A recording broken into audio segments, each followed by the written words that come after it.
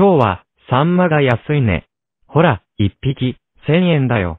総理大臣、前に麻生さんが恥をさらしました。発言には気をつけた方がいいですよ。そうか、わかった。安いねって言わない方がいいんだ。何でも高い、高いと言うよ。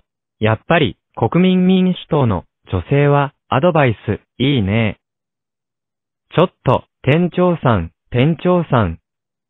このイワシ高いだろう？政府の物価対策の最中、イワシが高すぎるよ。もっと安くしてくれないと困るよ。総理大臣、失礼しました。これからは真面目にやります。イワシは1匹100円までです。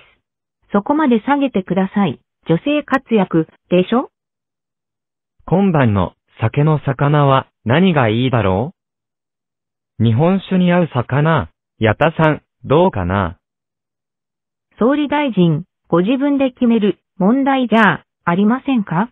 こんな時だけ女に頼ったら困ります。こんな時は店長にお任せください。どなた様でもお口に合う刺身セットがございます。刺身セットとは発明だね。新しい酒の魚、いいね。